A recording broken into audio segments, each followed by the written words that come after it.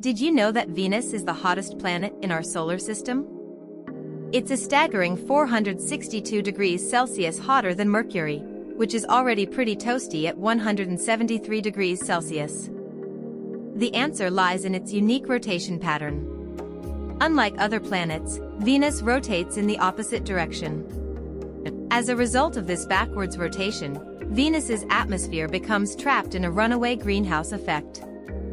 This creates a thick, crushing atmosphere that's mostly carbon dioxide, making it one of the most inhospitable places in the solar system. And get this, it takes Venus 243 Earth days to complete one rotation on its axis, but it also rotates in the opposite direction, so it takes 225 Earth days to complete one rotation relative to the Sun. But that's not all the Venus also has a thick layer of sulfuric acid and droplets of water, making it a hostile environment for life as we know it. The surface temperature is so extreme that it would melt lead and vaporize mercury, making it one of the most extreme environments in the solar system. Despite its hostile conditions, scientists are still fascinated by Venus and continue to study it to learn more about our solar system's mysterious neighbor.